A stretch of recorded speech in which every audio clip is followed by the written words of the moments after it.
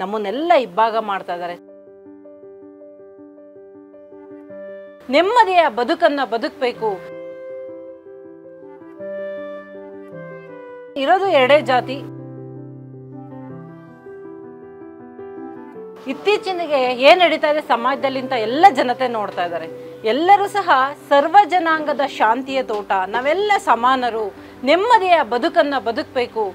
ಈ ಅನೇಕ ರೀತಿಯ ಸಮಸ್ಯೆಗಳಿದೆ ನಮ್ಮ ಸಮಾಜದಲ್ಲಾಗಿರ್ಬೋದು, ನಮ್ಮ ರಾಜ್ಯದಲ್ಲಾಗಿರ್ಬೋದು.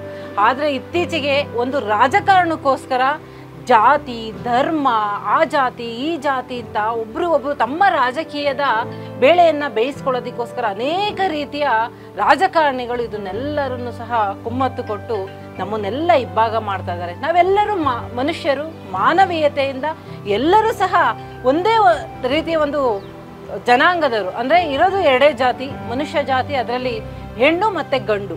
ಅದರಲ್ಲಿ ತಾರತಮ್ಯ ಮಾಡಿ ಹಿಂದೂ, ಮುಸ್ಲಿಂ, ಕ್ರೈಸ್ತ ಅಂತ ಅನೇಕ ರೀತಿಯ ಗೊಂದಲಗಳಿಗೆ ಈಡು ಮಾಡ್ತಾರೆ ದಯಮಾಡಿ ನಾನು ಎಲ್ಲ ನಮ್ಮ ಸಮಾಜದ ಕ, ಬಾಂಧವರಿಗೆ ಕಳಕಳಿಯಿಂದ ಕೇಳ್ಕೊಳ್ಳೋದಿಷ್ಟೇ ಇದೆಲ್ಲ ಬಿಟ್ಬಿಟ್ಟು ಎಲ್ಲರೂ ಸಮಾನರು, ನೆಮ್ಮದಿಯ ಬದುಕನ್ನ ಬದುಕೋಣ ಸಮಾಜದಲ್ಲಿ.